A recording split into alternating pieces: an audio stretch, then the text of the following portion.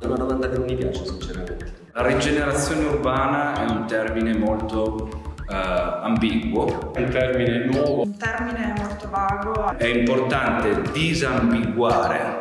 No, no, no, se vuoi ti rispondo. Eh, rigenerare un luogo non significa semplicemente ridipingere un muro, ristrutturare una, un edificio abbandonato, ma fare in modo che questo torni a vivere attraverso le persone. È una forma di coinvolgimento della comunità e nella progettazione della città. È una città delle relazioni, non è una città del costruito. Tirare via pezzi di città alla costruzione di vuoti e di turismo di lusso piuttosto che di concentrazione di capitali eh, di monopoli. Avere un orizzonte più ampio. Eh, quindi non rendere semplicemente un posto bello ma che sia significativo per le persone e utile per che sono le esigenze della comunità.